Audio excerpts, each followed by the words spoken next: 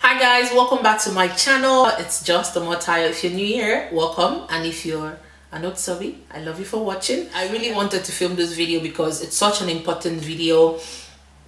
And as a new mom, and I know there's so many new mommies, mommy to be, I really feel like this is like my own little gift to motherhood to all you new moms.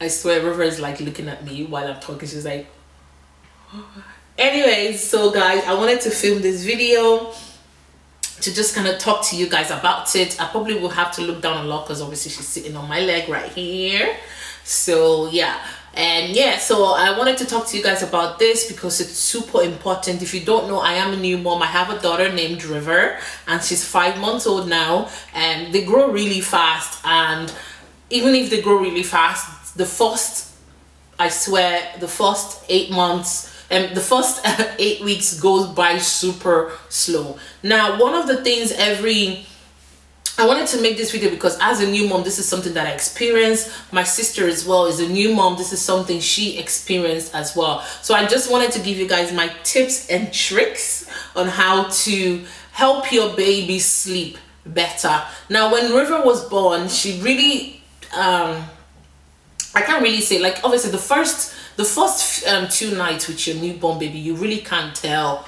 um, if they're a good sleeper or not. Every baby sleeps because as you're laboring to give to push the baby out the baby is also laboring to come out of you so it's a two-way street so i wanted to film this video to kind of help you guys i've i wouldn't say it's a brag but i've talked openly about how i sleep trained river um to sleep through the night at only 10 weeks um, she was 10 weeks, which means less than three months. And I was able to sleep train her. I was able to sleep train her to sleep through the night. So, um, yeah, I'm to talk to you guys on how I was able to sleep train my daughter River because I know how hard those first few weeks are when you're new mom. Like, you guys don't mind my makeup. Like, these days is so hard to get makeup on point because obviously you have a baby crying and everything so it's it's it's really tough to get my makeup as flawless as you guys are used to having it so we just have to make do with what we have. So yeah so back to what i'm saying. Obviously the first um eight weeks some babies the first three months which is 12 weeks some baby even longer find it difficult to um, um to sleep through the night and which makes it very hard for the parents and the mom to integrate into life of motherhood which really happened to me. I didn't want to have people around and you have baby blues some people going to postpartum depression and then you're having sleepless night. Now the sleepless night when i had my daughter really really affected me. It really really affected me. I, so what we did was my husband and I took care of the baby at night and my mom took care of the baby during the day. It's easy to say, oh, sleep during the day. People tell you sleep when your baby's sleeping, but it's hard to sleep when your baby's sleeping because when your baby's sleeping, as a mom, that's when you have so much to do. And that's when you feel like, oh, you just want a piece of your old stuff again, even if it's to take a shower in between. Oh, bless you, baby. In between um, taking some of your postnatal medications, whatever it is you have to do, press your stomach. Somebody like me, I had to train my core to be able to stand again because I was healing from pelvic floor, which I still am. So there, there was a lot of there's a lot of things that goes on that you need to get done during the day, and you know it's it's tough. It's really tough to to follow that advice of sleep when your baby is sleeping. It is a good advice if you can. Bless you, baby. If you can, definitely follow it. Follow the sleep when your baby is sleeping, but it's not going to work every day. Now, let me get back to this. I was able to sleep train my daughter River at only 10 weeks and a few days. Now, prior to having the baby, I'm someone that has a structured life. When I mean structured life, I wake up at a certain time every day. I go to the gym in the morning. What is it, mama? I go to work, I work in 9 to 5, I come back home, I do whatever it is, it is I need to do and I go to bed around a particular time and I do the same thing over again which does not bother me at all. I'm that kind of person that can do the same thing over again, watch the same movie over again, eat the same food over and over again, doesn't bother me. So yeah, that's what it is. So when I had a baby, um, not having a structure to my life really really affected me mentally not having a structure to my life definitely affected me mentally. Now um so i could not wait to sleep train my daughter. To some people it's too early but i was able to do it. So the thing i would advise you as a mom is tip number one study your baby. When you study your baby you start to know if they're ready for sleep training. I started to notice that um River would try to sleep, but there's so many distractions going on because my husband and I normally what we'll do is because she would usually if she would sleep all day like babies would sleep up to 19 20 hours a day. Like they literally sleep all day. So like every baby every newborn she'll sleep all day. Yes mama you used to sleep all day. And she'll sleep all day and then at night i i kid you not the minute it's like 12 or 11.30 our eyes will be wide open. And my husband and i will put on a nice movie until she falls until she falls back asleep. Because we felt like okay we need to stay awake. She's awake. Until she she falls back asleep. So i i started to notice that and then the fall she became a month old four weeks old. And when we got to around two months I could not wait to start sleep training her. I noticed she started to be awake longer during the day. Start noticing when your baby is awake more during the day. Start engaging them in activities, um, reading a book, tummy time, a little bit of, you know, start putting some sort of a routine in place is what i'm going to tell you um so i read a book to river all the time she loves the tone of my voice um so i read to her i sing to her i try to obviously they're not going to be awake but you just have to try um, whenever they're awake. So each day as each day passes by your baby will become more alert during the day. So when we got to week nine i started to practice and putting her down for a nap waking her up a bit but not it, it, it's not gonna work like magic.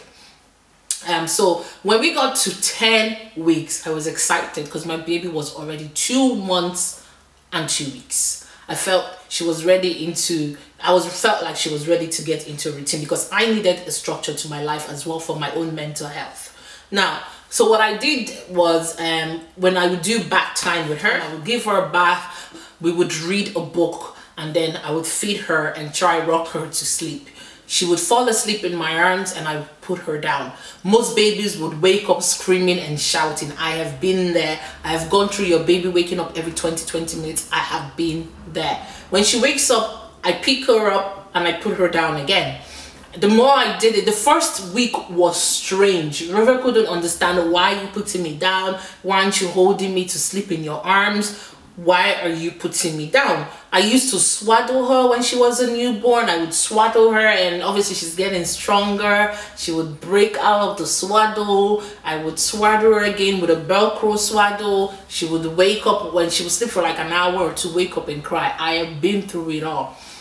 So what i did was um, i would feed her like i said put her down for a nap. I started to notice that she would sleep um, five hours straight. She would sleep three now the key is when your baby starts sleeping listen parents I know it's hard when your baby's sleeping, you miss them, you want to pick them up, you want to cuddle them, I know. So when your baby starts sleeping, what you do is when they start sleeping about four hours, they'll probably sleep a four hour stretch at night at the early stage. So when River would sleep a four hour stretch, when she would wake up for her feed, I would pick her up, I would feed her in the dark don't turn on any light I will feed her in the dark. If I'm doing a nappy change I will do the nappy change in the dark.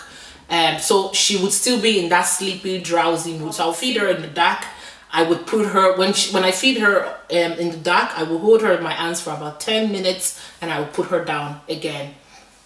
And she'll fall asleep instantly. Like literally instantly she'll fall back asleep even if we've gone through a nappy change. So if you're going to do a nappy change change the baby first and then feed the baby um, so that's what I would say. Change the baby first and then feed the baby and I'll put the baby back down again. She'll probably wake up maybe she probably goes to bed at maybe 8 she'll probably wake up another um, 4 hours and another 4 hours again. I'll pick her up and feed her in the dark for the second time again and she'll fall back asleep and she'll probably wake up at about 5 a.m. which was really good for me because I started to have at least even if it's broken sleep, but I started to get at least seven hours at night of broken sleep. It was better than where I was coming from. So the more we did it, the more obviously she would cry sometimes. And you know, we just we you just have to stick to it, moms. I know it's hard. You want to hold your baby and stuff, and you're crying. I would just when she would cry, I'll pick her up make sure she's not you know wherever she's crying. I put her back in her next to me and she'll go back to sleep. So each night it got better and better and better. Now she only wakes up twice during the night. So she'll go to bed at 8 o'clock and wake up at maybe 2 a.m for a feed and then she'll wake up again at 7 for a feed or 6.30 mostly 6.30 for a feed. So i will do 2 a.m feed my husband will do the 6 a.m feed. So that's how each now, one of us so it's it gets easier. You just and the key to doing this let me tell you the tips and tricks. The tips and tricks is feed the baby in the dark and hold the baby for a few minutes and put the baby back down. Don't talk to the baby. Don't kiss. Don't cuddle. You do that during the day. Don't try to kiss the baby rock the baby no matter how cute they are. They're so tempting. My daughter is absolutely cute. Like she is so cute. It's so tempting. And you know babies when they sleep they look cute. When they cry they're cute. They're cute all the way around. Don't fall for it. Feed the baby in the dark and put the baby back down when you change the nappy change the baby in the dark feed the baby. If you have a nappy to change change the nappy feed the baby and put the baby back down. Yeah mama.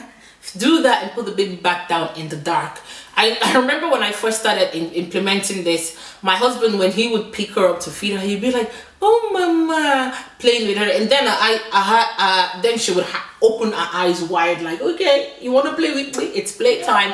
And then he would be like, she's not going back to sleep. I was like, that's because you're talking to her.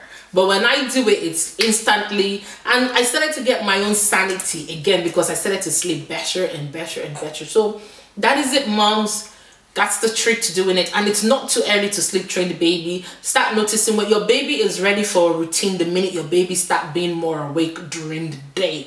Start noticing it. Now, when it comes to nap time, nap times are a little bit harder the minute the baby starts to sleep through the night. When your baby starts sleeping through the night, like now River wakes up every day literally at 7 every day sometimes 6.50 literally every day because she goes to bed at 7.30 and she literally wakes up for feed at 4 a.m and she'll sleep and wise open at 7. Now when she wakes up now, she doesn't cry to be picked up. She stays in her bassinet and she's looking at me playing and laughing from her um, um, um, next to me bassinet. So she she looks and plays from in there. She really, she makes a lot of noise on her own. so she's like babbling and yabbling. So it automatically wakes you up um so yeah so mummies and daddies that's what i would advise to every new parent. Start noticing when your baby is a little bit more awake during the day. When they're awake three hours during the day when they're awake four hours during the day they're definitely ready for a routine. I would say 10 weeks is not too late. Some babies are probably ready from eight weeks.